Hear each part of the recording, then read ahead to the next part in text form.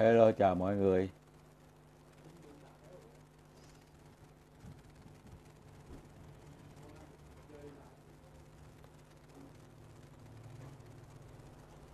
Ờ, chào Bảo Ngọc. à, có nghe rõ không mọi người?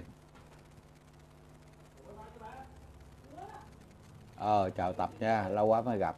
Em khỏe không? Chào bà Nha Trang, này khỏe không?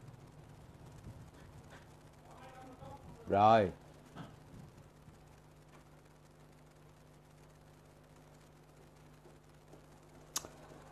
bữa nay là ngày 19 rồi phải không? Mai là ngày 20. à, hơi nhỏ hả? À, coi thử cái giọng luôn coi. Chắc là lẽ nó nhỏ, ờ, coi giọng volume hết ra rồi. Hết ra rồi. Chỉnh sửa gì đó. Hết ga rồi. Chào thân ngang. Chào lật sử. ô bà, bà tụi bay ờ, kết bạn thì một uh, một lát mà uh, ờ. rồi okay. rồi mà để chữ nickname riết rồi tao không biết ai là ai hết trơn trời nó tùm lum tùa la hết trơn trời ta kể cho bay nghe cái chuyện này chuyện vui vui chút xíu trong khi chờ đợi một bạn già tao vô ta tính là ngày 20 tháng 10 ta làm một cái dỗ lớn. Ê là một cái lễ lớn chứ quên. Là thí dụ là một cái party nhỏ nhỏ nhỏ nhỏ để nhà mình vui cha. À ta, ta mới bước ra cửa thì phía bên kia đường đối diện cái nhà nó mới à, mướn cái chỗ đó để mà nó làm một cái lò rượu. Xong rồi nó bán. Tao dòm tao hết hồn tao nói thôi rồi tiêu rồi. Tao, tao rút lui. Tao rút lui. Tất nhiên là ở bên phía bên kia đường nó mới mướn một cái mặt bằng và nó nấu rượu tại chỗ và nó bán rượu tại chỗ à, rượu à, đế đếp rượu tùm lum tùm la rượu rắn à, rượu gì rượu ngâm các loại rượu nó trưng lên nó bán một mấy à, hình như là cái hàng mấy một hũ vậy như là cả trăm lít vậy đó. Tao hết hồn tao chung vô luôn. Rồi ok. Thế thì hôm nay không có chuyện gì để mà like nhưng mà mình buồn quá mình like. Thì ông bạn già với lại à, à, tới lên ổng thì ông bên mỹ mình ở bên việt nam. Thì à, coi thử trao đổi coi có cái gì mới mới thì à, mình livestream rồi nói chuyện chơi cho nó vui. Với anh bên này à, nó cũng buồn. Nói chung là vậy bữa nay thì à, trời ở ngoài nó sắp sửa chuyển mưa. Muốn đi đâu cũng không có được. Ừ. chào năm thành hà. Thì đúng rồi đó có nghĩa là ở đây mình không có nói gì. Ngoài ra những cái chuyện mà rất là bình thường trong cuộc sống ờ, trong cuộc sống hàng ngày. Ờ, anh Phượng anh vô rồi đó anh Phượng anh vô rồi. Rồi ok. À,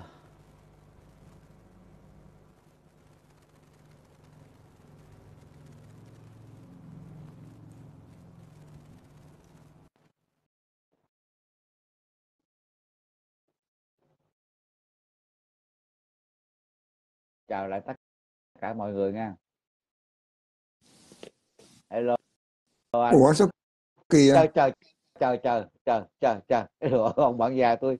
Rồi đẹp trai rồi đẹp trai đẹp lão rồi. Chào Ok. anh. Ok anh. À, nghe anh nghe rõ không?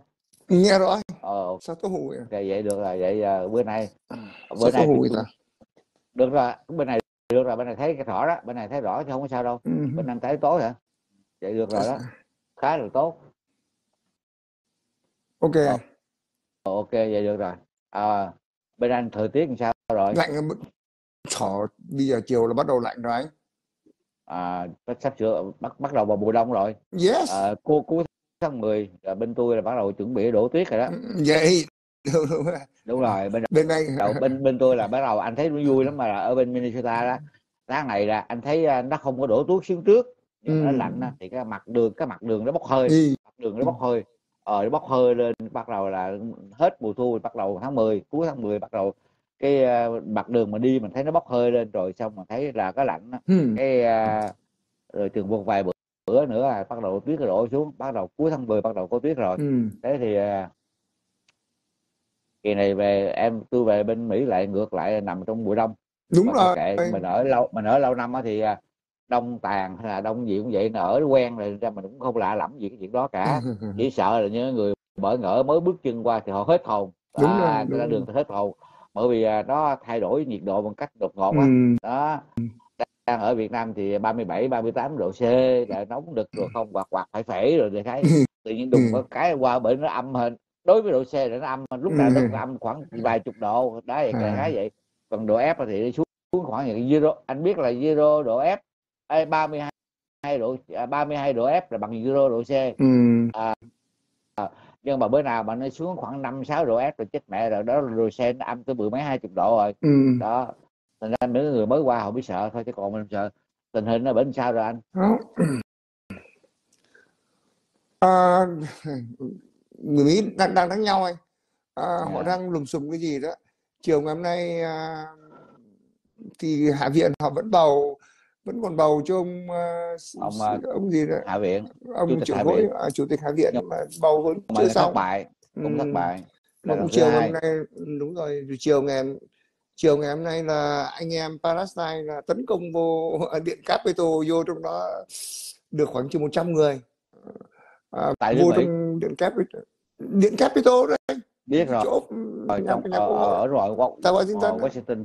À, thì, thì vô ông đó thì tôi ngồi tôi đếm còn được 100 người cảnh sát họ vây lại đứng đó cả la làng. Tất nhiên cái, cái ý cái ý của thà tụi Palestine mà nó xâm nhập vào quốc hội là nó đòi hỏi Mỹ phải can thiệp. Đúng là định đúng đó là như vậy thôi nhưng mà Ừ. cái um, mình hôm nay là tôi với anh cũng là một những người dân thôi. À, mình mổ xẻ mình mình không phải là chuyên gia mình không phải là chuyên gia lịch sử không là cái gì cả.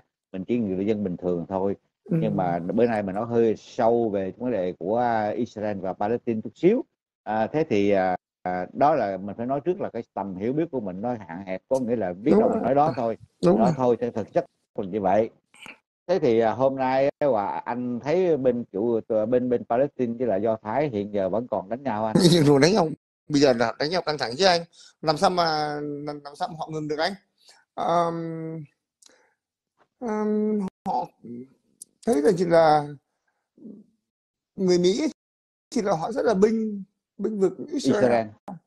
Người Mỹ là với lại người người châu Âu. Người Mỹ với người châu Âu. Ừ.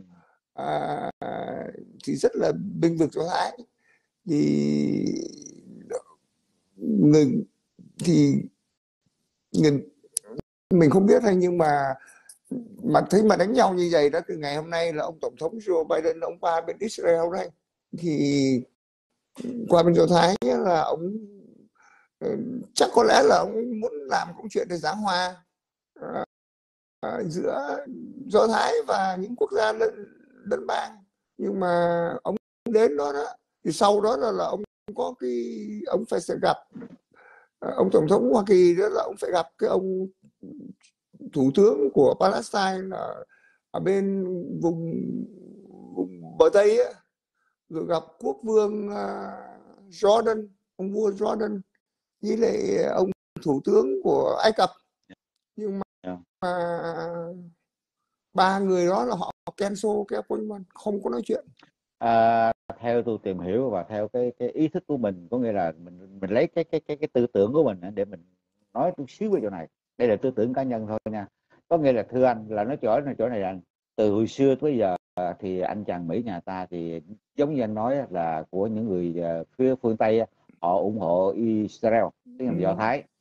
À, từ hồi xưa tới bây giờ thì mình phải nói cái điều là cái mình phải tội nghiệp một cái dân tộc là một cái dân tộc là Palestine. Đó. Thế thì à, tất, tất cả mọi những nước phương Tây kể cả Do Thái cô lập họ. Mình mới nói một cách nói một cách chính xác có nghĩa là vậy họ bị ở tù một cái nhà tù khổng lồ trên đất nước của họ. Đó và cái dân tộc này à, nó đã có từ hàng ngàn năm rồi vẫn từ ngàn năm rồi. Thế thì nó có như, như vậy ở đó nó phát sinh ra một cái điều này nó có một cái mảnh đất Jerusalem. Thế thôi tất nhiên họ tranh giành nhau miếng đất đó. Cái điều đó mình cũng không bàn cãi cái chuyện đó mình không bàn cãi bởi vì khi tranh giành là đương nhiên là phải có. Ấy. nhưng mà nó có cái điều này cái ông nội nội Mỹ và các nước phương Tây thay vì người ta ở trung lập người ta giảng hòa và để đừng Đúng cho rồi. cái sự chiến tranh nó xảy ra. Đúng rồi, đúng rồi. thì ngược lại các ông ấy là chỉ binh một phía nó, nó quái quăm ở chỗ như vậy. Cái nhà nước Palestine thì họ không cho lập quốc mặc dù người ta có, người ta có quốc kỳ. Người ta có quốc kỳ người ta rõ ràng nhưng mà các ông ấy không chấp nhận nhà nước Palestine. À, ngược lại cũng phía bên kia Israel thì các ông là chấp nhận và ông ủng hộ tuyệt đối chính vì cái chỗ đó Đúng những người dân Palestine Đúng rồi. họ thù hận họ bị ức chế. Tức như là họ không thích người người người người, Mỹ. Nói thẳng một cách như vậy rồi. theo tôi nghĩ bao bao bọc theo tôi nghĩ một cách đêm nay là người dân họ không bao giờ ưa các nước phương Tây và Mỹ là bởi vì họ bất công họ rồi. những người đó chèn ép bất công. Đó đó là một cái à, một cái một cái tinh thần mà tôi tôi nghĩ là ai cũng vậy nè. Ví dụ như người Việt Nam thì cũng vậy thôi thử nhà của anh đi. Tôi rào anh hết xong tôi cho anh chẳng có đi ra chẳng có đi vô anh cứ ở nhà à, ở nhà riết thôi. Tôi buồn mà tôi mở điện cho anh xài không tôi cúp nước rồi anh, anh chịu không? Chắc chắn sẽ có một ngày đó anh sẽ đục tường ra sẽ anh giết anh sẽ giết chết cái thằng kia. Đó nó nó là như vậy. Thế thì à, nói một cách khác rồi à, mình thấy cái điều này. Mà cái xung đột của theo tôi hiểu á đây là cảm nhận cá nhân nha. Có nghĩa là theo tôi hiểu cái sự xung đột cá nhân giữa do thái và palestine nó không phải mới đây, nó có hàng mấy trăm năm nay rồi, nó từ xưa là cả ngàn năm rồi. Với vậy, ở đây anh phải hiểu là đầu tiên, theo tôi nghĩ đầu tiên là xung đột về tôn giáo. Và người ta không chấp nhận cái thứ tôn giáo thứ hai, hoặc là Allah hoặc là Giêsu thế thôi, đơn giản vậy. Và họ không chấp nhận một cái tôn giáo thứ hai. Thế là một ông này, một ông à, bên này, một ông bên kia, hai ông choảng nhau. Đó mình mới thấy cái điều này là nếu mình đặt câu hỏi nha mình đặt câu hỏi nếu mà những người đứng tối cao có thật nha thì, thì tại làm sao để dân của họ khổ vậy? Thấy rõ ràng không? Họ đâu có cướp cho đức lớn các lớn tối cao đâu có giúp đâu. Và tôi đây tôi muốn nói rằng điều này là giữa hai bên giữa do thái và israel là tội nhất thảm thương nhất là là những người dân. Còn mấy cái ông nội mà, mà lãnh đạo thì mình không bằng còn bạn kể tới và tôi mới vừa nghe phong phanh là israel nó mới phóng một phát là coi như vào cái nhà thương chết năm sáu trăm mạng có nghĩa là cái chết nó có nghĩa là cái chết nó vô lý mà nó không nó không là tạo ra một cái gì cả mà một cái chết rất ư là buồn cười. Tức là tự nhiên là chết thôi và rồi mình thấy nó sao đâu á, nó nhạt nhẽo cái chết nó không nó không nó không nó, ý đúng nó là cái chết ở Việt Nam nó có những cái chết mà nó đi vào bất tử. Nhưng mà ngược như ở rõ ràng mà cái chết thì tính như rạ vậy mà nó không ra đâu nó không nó không nó không ý tôi nói là nó không tạo ra một cái niềm tin gì cả. Chết chết chết chết và chết giữa hai bên chết chết chết, chết rõ ràng. Mà phải chi cái chiến tranh của anh đó, và tôi anh dình giật anh dình giật miếng cơm manh áo nhà nó tôi, khác. tôi dình giật miếng cơm ra thì nó khác nữa. Một cái chiến tranh này là cái chiến tranh vô hình không xác thực. Mình nói ra thì chúng nó chửi mình nó nói là chiến tranh và mình bấu víu vào một cái không có thật. Để tôi nói không mình thấy nó vô lý rồi đó. Cái- thế thì có nghĩa là cái mảnh đất và cái linh hồn gì đó tôi không cần biết gì đó chuyện tôn giáo gì đó ông này thờ ông kia ông kia mà có nắm bắt được đâu rờ được ổng được cái gì đâu. Thế bà quýnh nhau theo tôi quýnh càng được rõ ràng bởi vì tôi mới nói rồi cái điểm thứ nhất điểm thứ hai là các nhà lãnh đạo bên đó không có người giỏi mà không có người tài. nó hẳn như vậy một lãnh đạo có người giỏi có người tài thì cái chuyện nó không xảy ra. Phải chi mà bác hồ chúng ta về mà hiện hồn lên là chỉ cho nó cái chiêu hoặc là bên kia cái chiêu và ông võ quy giáp chỉ cái chiêu thì cái chuyện nó không có xảy ra như vậy đâu. Thế tôi nghĩ là đôi lúc chúng ta mình nói về vấn đề đó mình phải hài hước chút để mình so sánh với là nói như vậy để anh hiểu rằng ở đất nước Việt Nam ngay bây giờ bởi anh nói vậy thôi chứ còn thực tế bây giờ bên kia thì quá ư là chết chóc quá ư là hỗn độn quá ư là máu sư máu thịt. Ở Việt Nam ta nhân dân ta bình, bình yên như vậy sung